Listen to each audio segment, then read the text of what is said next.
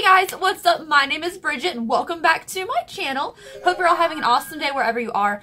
And today's video is going to be something you guys requested and I'm super excited to do. So today we are talking about how to install hair extensions yourself at home without having to pay for someone else to do it and how to remove the tapes. So if these are extensions you previously used and you want to get the tape sticky again, I'm going to show you how to do that. So without any further ado, let's jump into the video.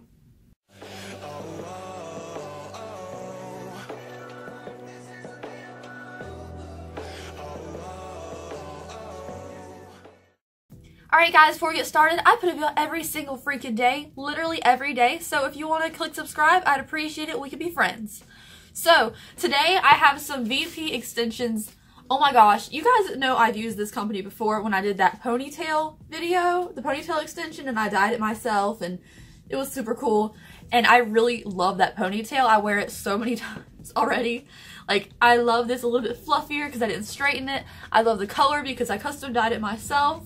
And also, when I go to job interviews, I wear that ponytail because, like, short hair is fun and everything, but put everything back in a ponytail long, pretty straight hair seems way more professional to me. So, like, I like using it for that, or if I want to dress up, I'll put the ponytail on and feel super cute.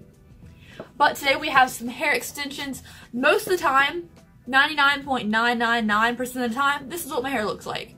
This is my real hair. It is super, super thin. Now you guys are gonna, probably gonna come at me like, that's because you dye your hair all the time. That's because you, because of this, this, this. And I'm sorry if the audio is bad in this video. There's like a window right here and it's windy is, I don't even know today. But it's not because I dye my hair all the time. My hair is so thin. Like it is super fine and thin. Like that's it. Both of my parents have thin hair. My mom has extremely thin hair. Like the entire time I was growing up, her hair was super, super thin.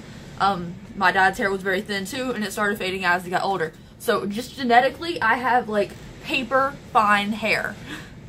So that's why when I grow a haircut out, it's pretty obvious. So I want to add volume today with these extensions. I'm super excited. now, most people add extensions for the length. If you want to add a length, it's super fine. I did a hair extension video a couple weeks ago. I'll link that down below too. But these are going to be kept in more than a couple days. I think I kept this hair extension in for four days last time because I didn't apply them correctly. I didn't know much about them and I was just really frustrated because I had to take time to dye them and dry them and reapply tapes and all that. But today we have some VP extensions and they are custom dyed to me. That is so amazing. And they smell really good too. So these are the extensions. That is a perfect match for me. Like, yeah, they're a little more pink, but like, give my hair one wash, the more pink comes out of it. I'm so excited. Look how pretty. Oh my gosh, they're so beautiful. So the hair comes, it's very strong feeling. Um, since they are custom dyed, they're not like, you know, straight, perfect, beautiful. But these look so good. They feel sturdy, strong. I love the color. Doesn't that look like me, you guys? I'm so excited. So I'm going to add some volume to my hair today using these extensions. This also applies to if you want to add length. But if I just add volume, I don't really have to style my hair. I can wear it however I want and it'll still be beautiful. With long extensions, most of the time you want to kind of curl the bottom because you're going to be able to see the difference of where your hair stops and that begins. But if you curl it, you won't be able to see it as much. So that's a tip for that. Now today, since these are dyed, when they are dyed, you want to replace the tapes because when you dye it and wash it, the tapes get kind of wet. So you want to reapply your tapes. So I'm going to take this bundle off and I'm going to show you how to change the tapes on your extensions before we start installing them. Okay, so before we get started removing the um, tape, I want to say that all you need is a pair of tweezers and if you have some like really finicky, not good quality hair extensions, I would suggest some remover too, hair extension remover, but since these are really good quality, I've had no problem taking about half the tapes off already. So what you're going to see is you're going to see your tape and it could be a little bit crinkled and it could be a little bit discolored because of it being dyed or cleaned or wet in any way. What you're going to do is take a pair of tweezers and just take it onto the tape here and peel it up. Now, sometimes the sticky part of the tape may not come up with it. You can just take your tweezers and it should come off in like one strip. So you get the tape paper and you get the glue off in one swipe. And after that, there should be no stickiness and it should look like this, nice and clean, which takes no time at all. Now to apply a new pack of extensions, just um, get a pack of these. I recommend getting them, from VP Fashion. They have really good tapes. But, I mean, tape is tape, I guess. So what I'm going to do is I'm going to open pack of tapes. This pack you get 120 pieces, which is like good because I do not have 120 pieces of hair extensions, which means I can use these plenty of times. You get a ton of these. So I'm going to take a packet. I'm going to do is take my extensions again and I'm going to peel up one of these and make sure you take the paper and the tape together. Like, take it together.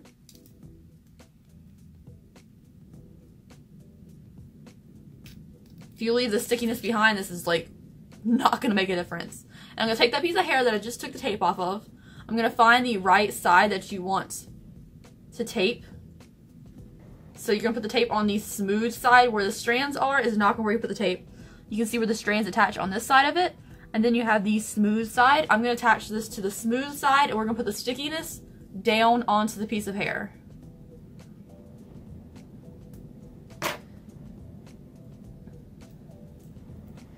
Now I'm going to use my fingers for this because I'm not very good with tweezers, but tweezers for most people are pretty easy to use. I'm not most people. And I'm just going to stick that onto the hair and kind of squeeze it together. And then you have a new piece of hair extension ready to peel this tape off and apply it to your hair. So we started off with a worn out tape. We cleaned it off, went to a no tape, and now we have new tape up here. I can just peel this paper off and attach them to my hair. So that is how you change the tapes on them. I'm going to change all these tapes now, and then we'll get started with application.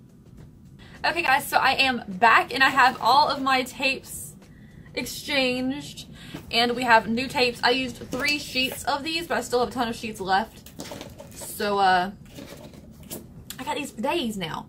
So, I want to point out that this did come with a cute carrying case, so after you're done using your extensions, you can store them away and they will not get damaged, which is something my last extensions didn't have. They didn't have anything to put them in, so I threw them in a box, which is like not the best way to store extensions.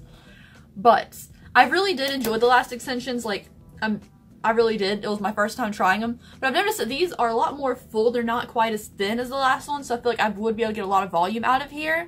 And I'm like, I'm excited now, a couple of these things that I point out will be just preference when I'm applying these extensions. Completely up to you what you want to do. I recommend if you have medium to thicker hair, start in the back if you're going for length. Please start in the back. Um, because a lot of times you pull your hair back, you want most of the thickness in the back of the head. Because most of the time, a lot of people have layers in the front, and it's okay, it's a little thinner in the front. However, I am just going for fullness, so I'm going to start on these sides of my hair. It's easier for me to show you. Now, as far as how you apply these to yourself, when you can't see the back of your own head, is have a mirror in front of you, and then have one semi-catacornered, so you can see yourself here, and you'll see the back of your head. So have a little angle set up. Please do not like feel and guess how to pinch sandwiches in the back of your head. That's what I did last time. It's a big reason I started taking them out super, super fast after putting them in because the sandwiches did not line up. And what I mean by sandwiches is you take two hair extensions. So we have two pieces here. You peel the tape off of one. You put it on the side of your hair. And you pinch these two pieces together. Makes a little sandwich.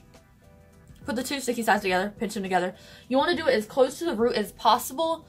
Your hair is going to grow as you have them in for a couple weeks and you don't want them to be like down here and then grow down here and you will see it, please put them as close to the root as possible. Um, another thing, I personally have to have my hair pulled back like half the day. I have these stupid little bangs, so I don't want any extensions closer than right here on my head. So like right behind my ear, I don't want extensions anywhere from here. So I'm to take a comb we're to put in our first extension. I'm to do a couple on camera with you, and then the most of them I'm to apply um, by myself because I need to be able to have a good mirror setup where I can see myself. So let's say I'm gonna start, let's do this again. Right here. Ooh. So I'm gonna pull my hair up.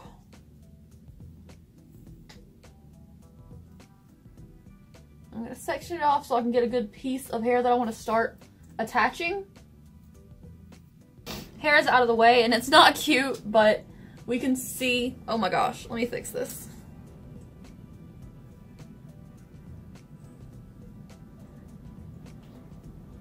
But we can see my hair here. So I'm to take this little comb again and I'm to make sure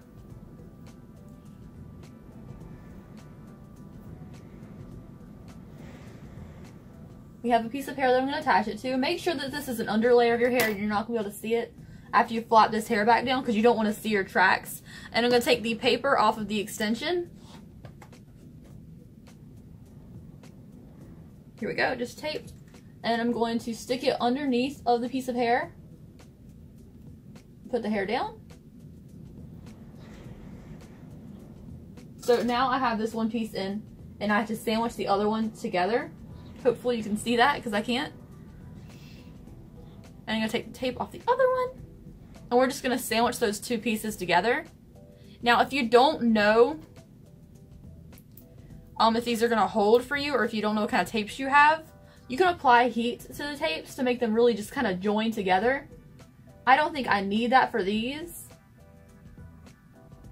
And I'm going to find the underside of that piece of hair we just did, where the extension is, hold it up, and we're going to apply this to the top of it. Now please make sure you do this in an area that you can see. Obviously this is kind of a tough spot for me to see myself. But take your time and align these perfectly because if you don't, it will pull at your hair which is why I took mine out, my extensions out last time. They weren't aligned perfectly, so they pulled at my head when I laid on it. But you can see here we have our extension sandwich. And now we have some extra length to my hair, which I think I might chop off, I don't know. But we have our first extension in. Now I'm going to try to, I don't know if I can, you can see that, so I'm going to do a different side of my hair now. But generally, do it by section. Do like one side, one side, or the back. I definitely recommend starting off with the back if you're going for volume. I mean, length. So I'm going to do one on this side now. Don't start off doing the very top of your head because the top of your head, you're going to be able to see the tracks as you go down if you start off too tall or too close to the face. So let's find a good spot. Let's try this again. Make sure I can still put my hair back. Behind the ear. I really like that I didn't feel that tracked over here when I put my headband on. Because that was a huge problem with my extensions last time is I just could not put my headband on. And I cannot do my makeup without my hair pulled back.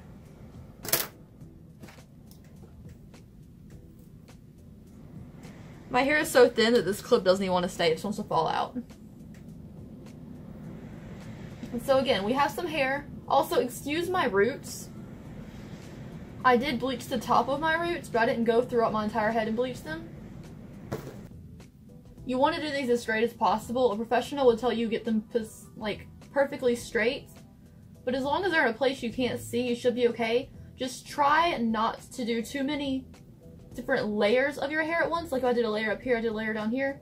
It's not going to be a good fit for this. But there I have one piece in. It's really crooked, but I'm following the lines of my head right now.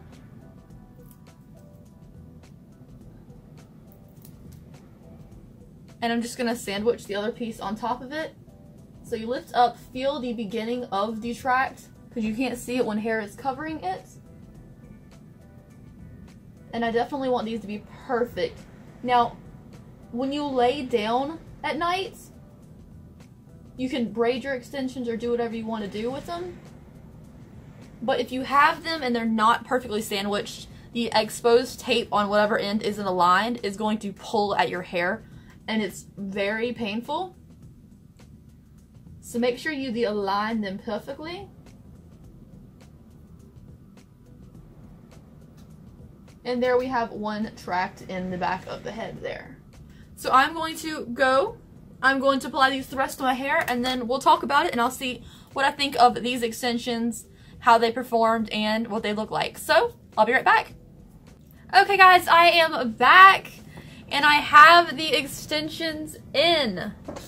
First of all, these are super soft and I just feel so gorgeous. Like, face not might, might not be, but like when I was watching myself do it, like I felt so pretty. This makes me feel so luxurious and fancy, you know? Um, so you can of course see my real hair, but if I curled this, I'm pretty sure I can get away with not adding anything else and just wearing these as they are, like pretending this is my real hair. The volume it gave me in the back is so nice. Normally my head would be like these, and now it has like a little bit extra poof to it, but it's not something crazy where it looks so fake or it looks super crazy, but if you wanted to add another pack and get like a ton, a ton of volume, you totally could. I tried not to put them too close to the scalp so that you can't see them. And then like I did a little dance party and moved my hair around and made sure you couldn't see any tracks. So if it gets stuck in the weather, you wouldn't see them. So I didn't do them very tall. I think my highest one is right here. And I'm very happy with it. So let's show you the back.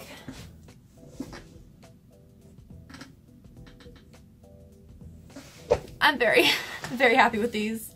Now, a rule of thumb when applying them, make sure that they are comfortable. I cannot currently feel these on my head, even though there's 40 pieces on my head. Um, because when I put them in, let's find one. Okay, so you see one. Make sure that you can, there's no other hairs from another row of hair touching it or in the stuck in the tape. Make sure you can like flip it up and down and it doesn't hurt, or you can like pull at it and move it around and it doesn't hurt, that means there's no extra hair from a different like row of hairs in it, so it's all nice and comfy and pretty. And I laid down and it doesn't hurt back there, which is great, which means I did a better job this time. It took me about an hour to apply all of the hair extensions, but I just put on some music and kind of enjoyed myself. It's kind of relaxing after a little bit, honestly. And I am super happy with these results. I think I might curl it and leave it this length, or maybe add a few more to get a little bit extra volume in the back. But I'm super happy. Anyways, I hope you guys enjoyed this video. If you want to see more from me, I put a video every single freaking day. And if you want some of these hair extensions, I'll leave all the information, all of the links down below for you. There is a coupon code down there for you too. I don't get any money from it. It's just for you guys, and I hope you guys enjoyed the video. Bye!